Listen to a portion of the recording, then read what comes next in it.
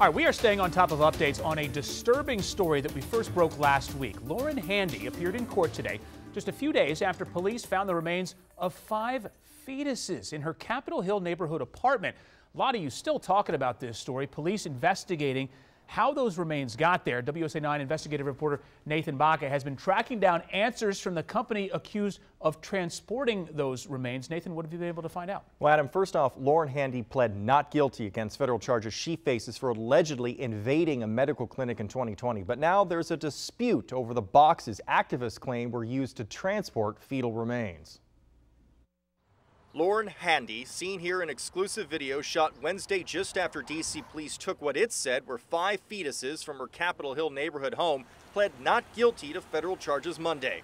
While she faces 10 years in federal prison if found guilty of, in the Department of Justice's words, invading the Washington Surgicare Center in 2020, those charges have nothing to do with the bizarre investigation in her own D.C. home. We were there when D.C. police took biohazard bags and coolers it say carried remains of five human fetuses.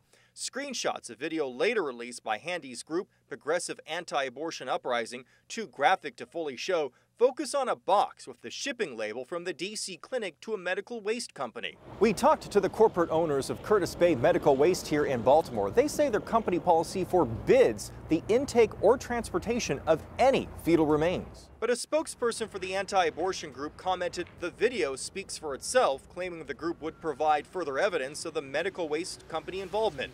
DC police says the fetuses were aborted in accordance with DC law.